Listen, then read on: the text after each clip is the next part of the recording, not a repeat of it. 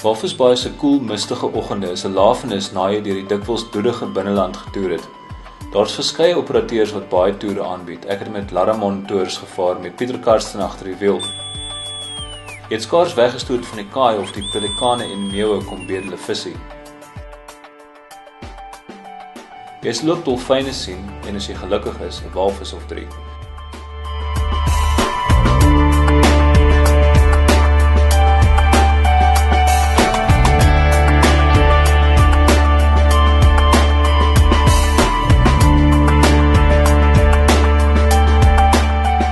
Deurentyd vertel Pieter jou van die baai en alles wat hier aangaan, soos die oesterboerdery byvoorbeeld. And they soon realized the reason for the quick growth is because of the temperature of the water, between 12, 13, 14 degrees Celsius for about 10 months in the year.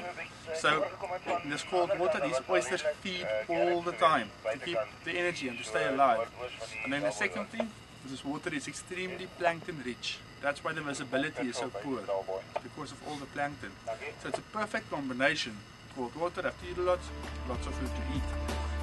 'n Hoogtepunt is wanneer een van die robbe aan boord klim en poseer vir foto's terwyl Pieter hom 'n vis of twee voer.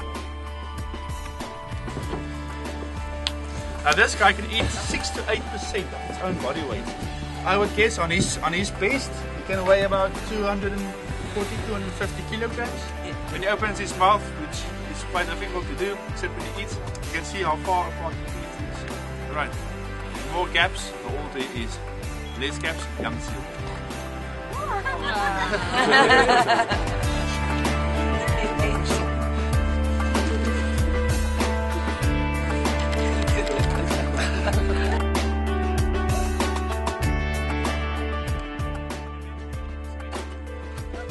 Jy gaan draai by Pelikaanpunt se vuurtoring waar duisende robbe in die seebaljaar op die strand lê en rus.